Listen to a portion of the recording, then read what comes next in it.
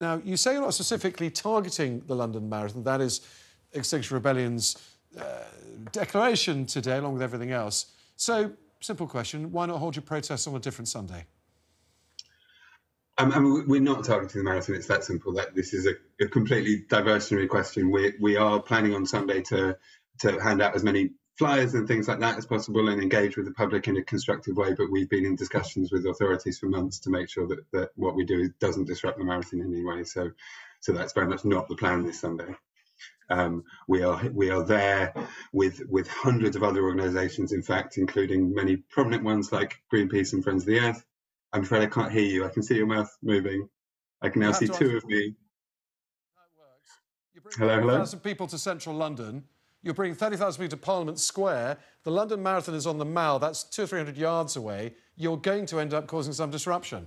So my question again: just do it on a different Sunday. No, we're not. We're not. I mean, it, it, well, you are. We, we could we could be doing an action to disrupt the, the marathon. We're very much not. Like I say, we've engaged with authorities over the months to make sure that doesn't happen. This is a complete diversion. I would much rather talk to you about why we're doing these crucial protests. And that's to draw attention to the fact that our government, like most of the governments around the world, are completely failing to take the advice of their own scientists in terms of what has to be done to ensure a chance of a livable future for our children. You know, this is this is not hyperbole. This is not rhetoric. This is what the mainstream intergovernmental science is telling us.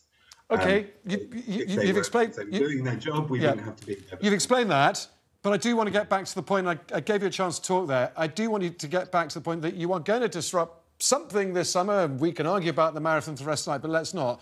Now, if you do disrupt the marathon, which everyone is running to raise a lot of money for charity, do you not think you stand a chance of alienating an awful lot of people to your cause?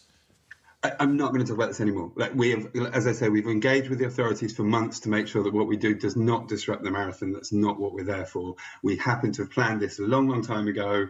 Um, exercising our crucial democratic rights, and they are crucial democratic rights because they have been central to winning all the progress that has happened in the last 200 years.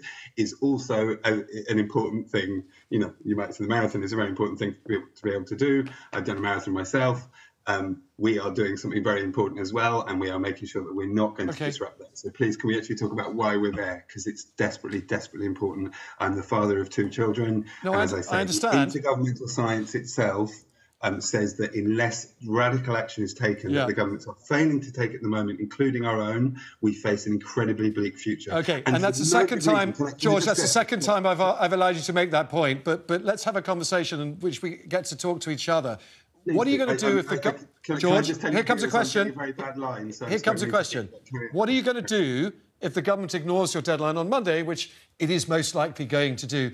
What sort of protests will we see?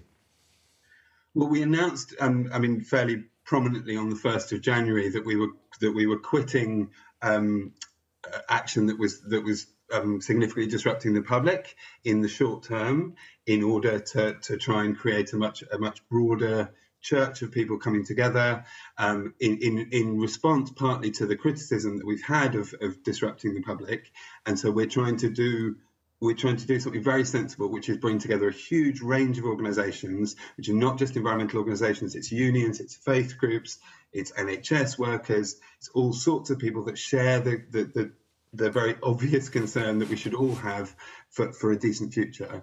Um, and what we're doing as part of this four days of, of these many organisations coming together is okay. trying to work out a plan of action in terms of what we have to do if the government doesn't respond to the incredibly, incredibly simple preliminary demand which we have, okay. which is stop expanding new fossil fuels. And I should stress for any of your viewers is not okay. okay, you, I, I, the, I, did make that, George. I did make that point. I've, I've already explained to the viewers what your demand is, but I just want to put one final question to you. Please, please Tom, can, can, I just make no, no, George. I got to ask the questions. This is how it works. You've, you've, yes, you've had a lot of time to speak. the answer to your question. Oh, George, can I ask a question?